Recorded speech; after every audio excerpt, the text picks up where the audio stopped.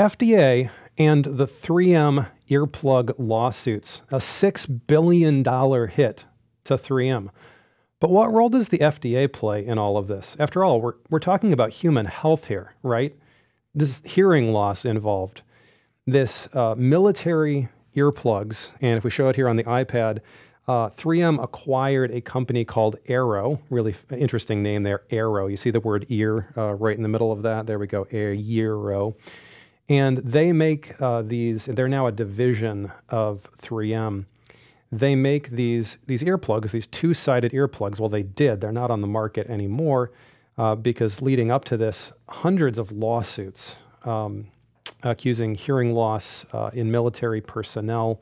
Tens of thousands of these sold to the military. Now a six billion dollar settlement um, where 3M is going to pay out six billion dollars. I think it was 5 billion in cash and a billion in shares to those who have been uh, been hurt by this. And the question really comes up: what what happened here? And we are not here to say that we have a firm clue. I mean, uh, obviously, this is up to the courts to decide. But what happened? Let's go all the way back. How are these things regulated? If you go to ANSI, American National Standards Institute, you will read this really interesting uh, article. And it says in 1974, ANSI S3.19 1974, there's a uh, technique for measuring hearing protectors. 1974. A technique for calculating the noise reduction rating. You see that NRR on every single package of hearing protectors you pass in the store? Well, it turns out this has long since been superseded. There's a new ANSI standard out that replaced it over 30 years ago, but but the 1974 standard, if we look right here, uh, it's had several successors, but the EPA, the United States Environmental Protection Agency, still requires the testing to the 1974 standard. And it includes a method using 10 human subjects, which I thought was really interesting. Like it's not a completely objective test either. And it's still required under 40 CFR Part 211. So this is still how these things are tested. And then you see the ANSI uh, label on the package in the store, and you feel confident that these things are going to protect your hearing. Well, it turns out it gets a little bit complicated because if we go back here, these 3M uh, Aearo hearing protectors, the Combat Arms version 2 hearing protectors, the accusations that that came out, and apparently the jury ruled in favor uh, of the of the accusers here. They were accusing all sorts of things like falsifying test results. Um, they were saying that tests were fudged.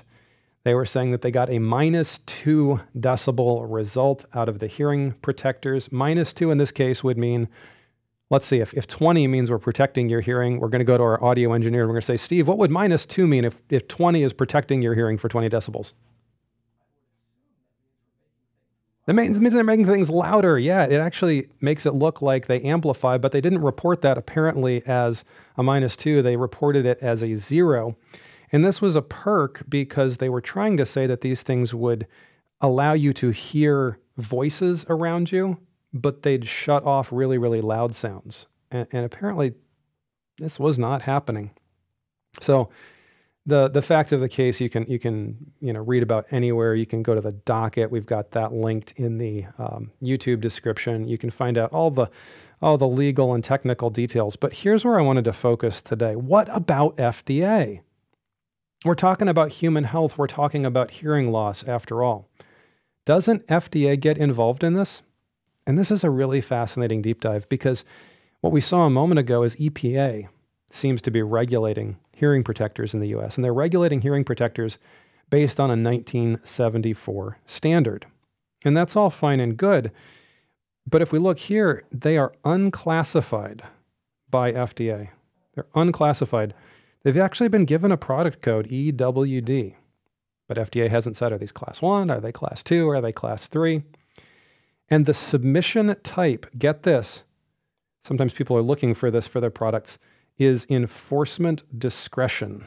The submission type is enforcement discretion, which basically says FDA is saying yes, this would count as a medical device, but we are choosing to ignore it. We are choosing to look the other way. Now, we know that they do things like health and wellness devices like that. Yeah, we could take this measuring exercise bicycle and we could call it a medical device, and we're not giving up that authority.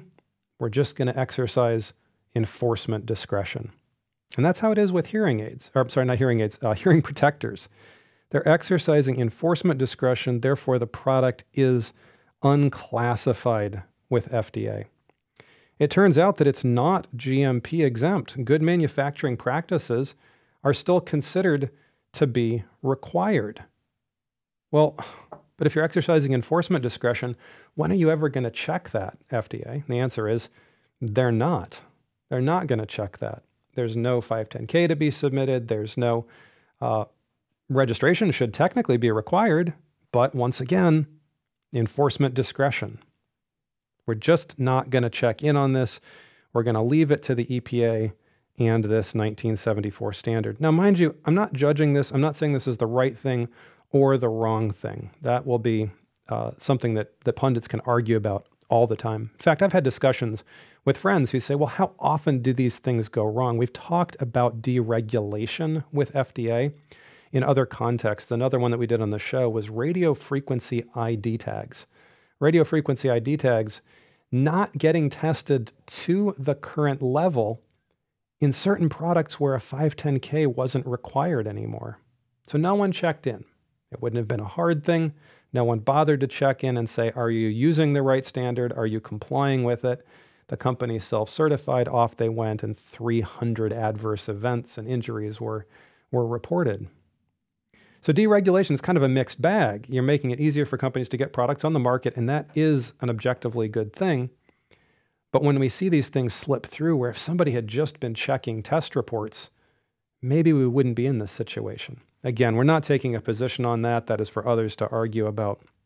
But it is fascinating that FDA is waiving their oversight of hearing protectors, leaving it to a 1974 standard and the Environmental Protection Agency to regulate.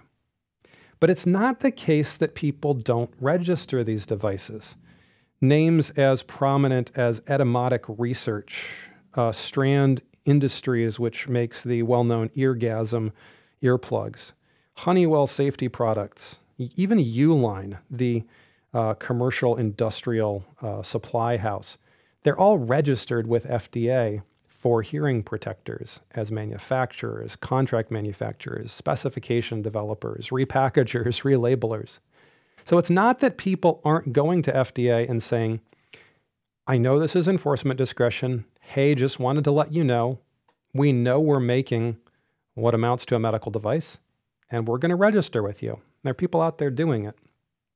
Would that have solved problems in this case? Who's to say? We're not gonna we're not gonna judge that. But this is the question that I think is, is really, really interesting. Hearing protectors are, we think of them as just these little foam plugs that stick in your ear. Not so the Combat Arms version 2 devices from Aearo and, and 3M. Relatively complex. The triple baffled design on two ends, one end uh, designed to completely block sound off.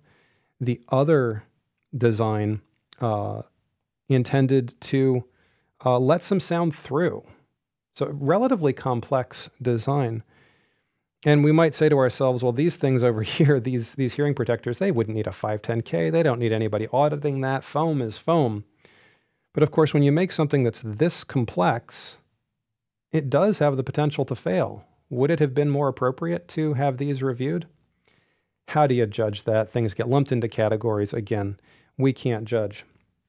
But we do find it very, very interesting, and you can read the docket about all the failures that happen, the testing failures, the uh, testing changes, the deviations from testing protocol that happened. Um, and um, unfortunately, for quite a few military servicemen and women, uh, permanent hearing loss or tinnitus uh, that has resulted from this, six billion in counting in damages to 3M. What can we learn as a medtech development community? Well, It's that sometimes just a little bit of oversight isn't a terrible thing. Somebody to at least check the work. I think one of the tensions we see in our community is that sometimes FDA seems to be staring at the head of the pin, asking questions that don't matter. But other times, if we could all just follow a process that makes sure we're testing to the most current standards, everyone would be better off. It's that balance in regulation that's always so hard to hit. And when we talk on this show so often about the design control process and the verification and validation that comes along with medical product development, that's why those things are important, so that you can at least show hey, look, we tried to address this issue, this issue, and this issue, and that's why we're putting this product on the market. We believe it to be safe and effective. If you found this interesting, please be sure to like and subscribe. That's what we hope on MedTech Crossroads that the things that we provide to you for free will save you time and effort and headaches on your MedTech development journey.